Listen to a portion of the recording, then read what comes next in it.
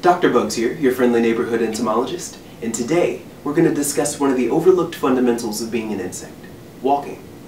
And this guy, Mastigoproctus giganteus, is going to help us. You thought snakes on a plane was interesting? Well today, we're doing scorpions on a treadmill. Sort of. Where's my theme music?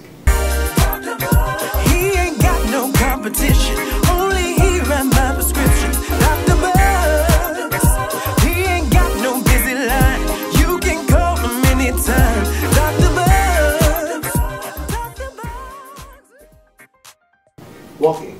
Seems easy enough, right? If you're a biped, you just put one foot in front of the other, and suddenly you've moved from point A to point B. But what if you had six legs? I trip and fall fairly regularly, and I only have two. Insects have three times that much, and still they boast some rather impressive coordination. How do insects do it? Well, let's take a look at Franklin, my Mastigoproctus giganteus, to get a better idea. Central pattern generators are partly Um, responsible but Dr. Buggs, um, well, if we want to learn about walking in insects, why are we looking at the step cycle for Mastigoproctus giganteus? Isn't that an arachnid? Well, first of all, little Sammy, it's pronounced arachnid with a hard C. And secondly, great question. Franklin is an arachnid, which means he has eight legs. And it would make sense to expect that he would move a bit differently from an insect with six. But Franklin does sort of have six legs. Mastigoproctus giganteus literally means big whip anus in Greek. But the whip scorpions didn't just get their common name from the whip on their back end. Those front legs also look fairly whip-like, and they're just as important if not more. Rather than being for walking, they're used as sensory organs to compensate for their poor visual acuity. I'm legally blind.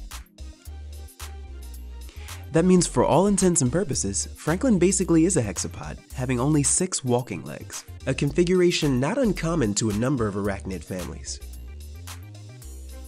Now for this video, I've deployed the departmental bug treadmill so you can get a better look at how a hexapod typically moves. If you look closely, you'll see a pattern emerging. Franklin is moving half of his legs as a unit. The front and rear legs on one side of Franklin's body move in synchrony with the middle leg on the other side. This pattern is alternated on each side, moving him forward. That may be a bit difficult to see here at full speed, so let's slow it down and switch orientation.